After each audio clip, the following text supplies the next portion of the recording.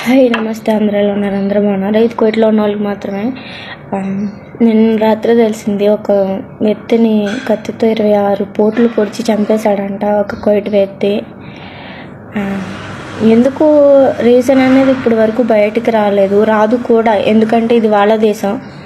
వాడిది తప్పైనా మనోడిది తప్పైతే బయటపెడతారు కానీ వాడిది తప్పైతే వాడు ఎవడు బయట కదండి. ఎందుకంటే ఇది వాళ్ళ రాజ్యం. మనల్ని కొట్టినా చంపినా ఏం చేసినా వాళ్ళదే కరెక్ట్ అంటారు. మనం ఇక్కడ ఉండి మనం చేసేది ఏం లేదు. ఏదన్నా చేయగలరు ఏదన్నా చెందగలరు అదంటే అది ఎంబేసీ ఏం చేస్తుంది ఎంబేసీ ఆఫీస్ ఉండి? ఎందుకు? ఏం ప్రయోజనం? దేనికో దానికి స్పందించాలి కదా.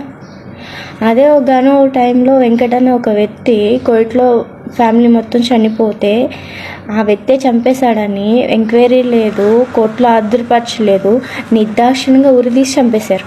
ఎందుకని? మన ఇండియా వాడు కాబట్టి.